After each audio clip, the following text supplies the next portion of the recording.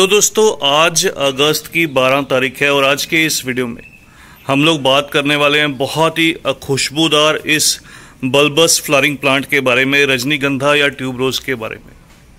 ये जो आप मेरा प्लांट देख रहे हैं, इसको मैंने बल्ब से ग्रो किया था, लगभग इस पौधे को ग्रो किए हुए तीन से साढ़े तीन महीने हो चुके हैं। और उस समय मैंने आपके साथ इस वीडियो को शेयर भी किया था कि इस तरह से इस प्लांट को बल्ब से ग्रो किया जाता है।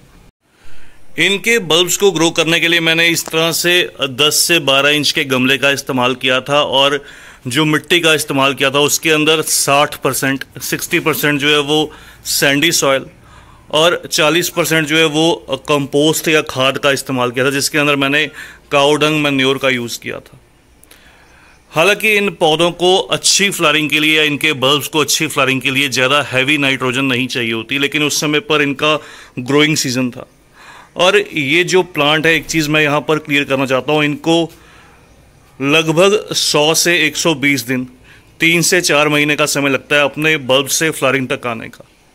और ये समर ग्रोइंग रहते हैं समर सीज़न जो गर्मी का मौसम रहता है, इनको पसंद रहता है। सर्दी के मौसम में ये बिल्कुल डोरमेंट या रेस्ट के समय पर रहते हैं। इसलिए अच्छी फ्लारिंग लेने के लिए इन प्लांट्स को या इनके बल्ब्स को जब ग्रो किया जाता है, उस समय मार्च या अप्रैल का सीज़न रहना चाहिए। जब गर्मी की शुरुआत होती है, थोड़ा टेम्परेचर जो है वो 25 से 30 डिग्री के बीच में रहना स्टार्ट होता है। और जब पूरी धूप तेज होने लगती है, टेम्परेचर 40-45 डिग्री के पास पहुँचने लगता है, उस समय पर इन प्लांट्स को सेमी शेड देना पड़ता है।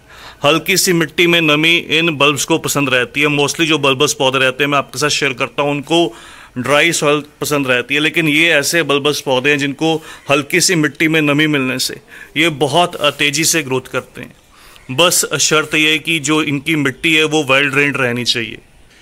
क्योंकि ये जो फ्लावर्स हैं या इनमें से जो फ्लावर्स या स्टोक निकलने वाले हैं, जो निकल कर आते हैं, उनका कट फ्लावर्स के तौर पर यूज़ किया जाता है। उनका जो यूज़ है वो बुके में किया जाता है। तो ये खुशबूदार रहते हैं। इसलिए जब इनके जो स्टॉक हैं या फ्लावर्स हैं वो निकलने स्टार्ट होते हैं, उस समय पर इन प्लांट्स को सेमी शेड दिया जाता है ताकि उनकी जो लाइफ है वो लंबी रहे या कट करके उनको पानी में प्लेस किया जाता है, जिससे वो बहुत लंबे समय तक फ्रेश रहते हैं। अभी क्योंकि हमारे यहाँ पर मानसून का सीज़न है और कह सकता हूँ कि इनका जो फ्लारिंग सीज़न है वो बहुत पास है। मानसून के जस्ट बाद ये प्लांट्स जो है वो फ्लारिंग करने लगते हैं।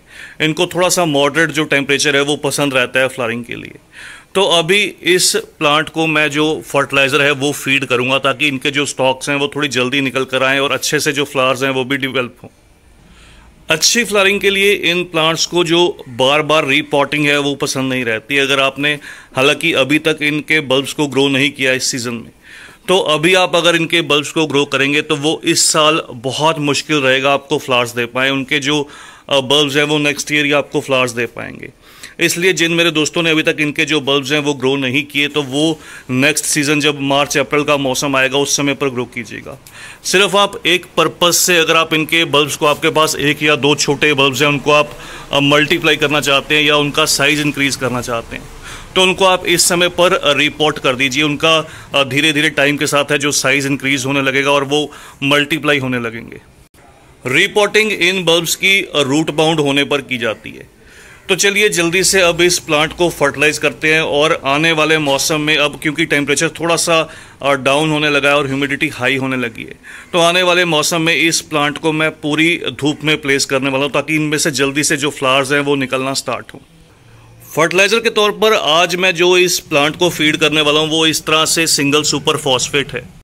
क्योंकि इस पौधे में नाइट्रोजन ऑलरेडी बहुत हाई है, आप इसकी ग्रोथ से आइडिया लगा सकते हैं और इनको फ्लारिंग के लिए नाइट्रोजन नहीं चाहिए होती। इसलिए आपके पास अगर सिंगल सुपर फॉस्फेट ना हो, ये क्विक रिलीज़ होता है, बहुत जल्दी इसका जो रिज़ल्ट है, वो प्लांट्स में मिलता है। तो आप इसकी जगह स्लो रिलीज़ बॉन बॉन मिल का भी इस्तेमाल कर सकते हैं। डीएपी यहाँ पर अवॉइड की जाएगी क्योंकि डीएपी के अंदर जो नाइट्रोजन है वो भी रहता है।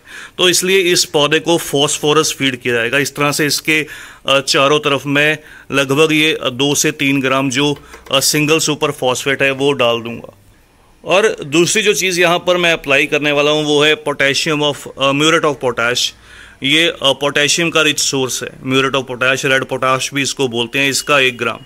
अगर आपके पास ये दोनों चीज़ें अवेलेबल ना हो तो आप एन पी के ज़ीरो बावन चौंतीस ईजिली अवेलेबल रहता है सीड शॉप पर ज़ीरो बावन चौंतीस ज़ीरो फिफ्टी टू और 34 इस तरह से जो रेशो रहती है, उसके अंदर नाइट्रोजन नहीं रहता। तो उसका भी आप स्प्रे कर सकते हैं या पानी में डिज़ोल्व करके। दो ग्राम पर लीटर। इस तरह से आप डिज़ोल्व करके आप इसको दे सकते हैं। तो बस दोस्तों, आज की इस वीडियो में इतना ही। जल्द ही इस पौधे की जो अपडेट रहेगी, आपके साथ शेयर करूँगा। तब तक के लिए bye happy gardening take care